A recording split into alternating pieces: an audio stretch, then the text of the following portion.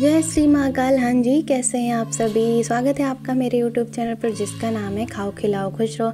Actual में ये मेरा नहीं, आप सभी का चैनल है। आप सब आते हैं, अपना प्यार बनाए रखते हैं, यही बहुत बड़ी बात है। तो चलिए बनाते हैं आज की नई रेसिपी आपको मैं बताऊँगी एक नए ट्रिक से आपको सोयाबीन की सब्ज़ी बनाना है, जो कि फटाफट बन जाती है और हेल्दी भी होती है। तो आपको लेना है, सब, सबसे पहले आपको ना ये सब्ज़ी बनाने के लिए आपको सरसों का तेल इस्तेमाल करना है। तो इससे स्वाद बहुत अच्छा आता है। तो आपको कढ़ाई रखनी है, उसमें डालना है सरसों का तेल, गर्म हो जाएगा तो उसमें डाल देना है जीरा, राई, मेथी, अगर आपके पास नहीं है तो आप स्किप कर सकते हैं, बट आप मेथी और जीरा ज़रूर डालेंगे। तो इसको डालने के बाद हम यहाँ पे डाल देंगे प्याज और मिर्ची। प्याज की मतलब साइज़ आपको लंबे साइज़ में कट करना है, जिस तरह से मैंने कट किया है, इस तरह से कट करके डालेंगे ना, सब्ज़ी बेस्ट बनेगी और जब आप खाएँगे तो इसका स्वाद भी बहुत अच्छा आता है प्याज का। तो यहाँ पर प्याज और मिर्ची मैंने भून लिया था थोड़ा सा हल्का लाल हो गया था तो मैंने यहाँ पर डाल दिया है लहसुन और अदरक का पेस्ट।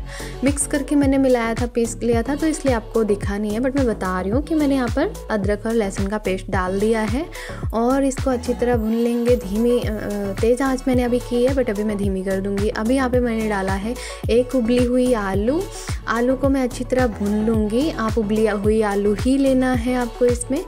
तभी आपकी सब्ज़ी बहुत अच्छी बनेगी और आपको ट्रिक ये लगाना है कि अगर आपका सोयाबीन आपने नहीं मतलब पहले से आपने भिगा के नहीं रखा है तो आप ना यहाँ पे गर्म पानी, आप साइड में गर्म पानी करके उसमें ये सोयाबीन डाल दीजिएगा। एक मिनट में आपका सोयाबीन फूल जाएगा।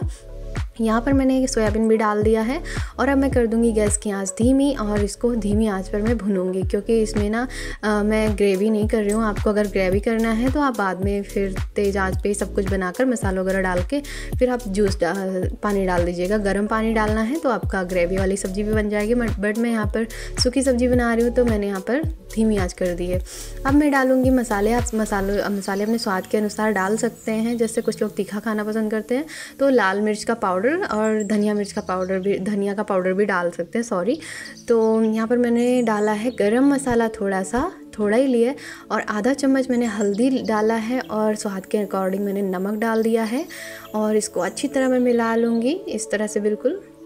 यहाँ पे मैंने इसको अच्छी तरह मिला लिया है, मिलाने के बाद अब हम इसको ढक देंगे। धीमी आँच पे, धीमी आँच पर ही बनाना है। लेकिन अभी पहले, उसके पहले हम ढकने से पहले हम यहाँ पर डाल देंगे टमाटर। तो मैंने यहाँ पर दो टमाटर लिए थे।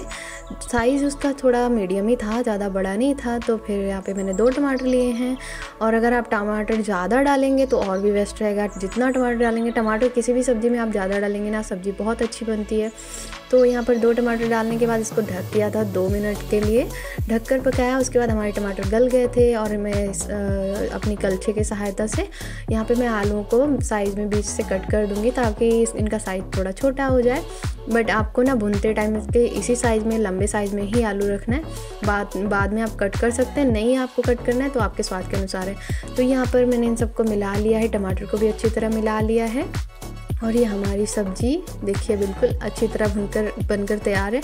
लेकिन ना, अभी मैं इसको धीमी आँच पर भूनते ही रहूँगी, क्योंकि जितना ज़्यादा हम भुनेंगे ना, ये उतनी ही अच्छी सब्ज़ी बनती है। एक्चुअल में ये ना, बहुत अच्छा टेस्ट आ जाता है, अगर हम आपको, अगर इसको ना धीमी आँच पर भूनते रहेंगे और चलाते रहेंगे।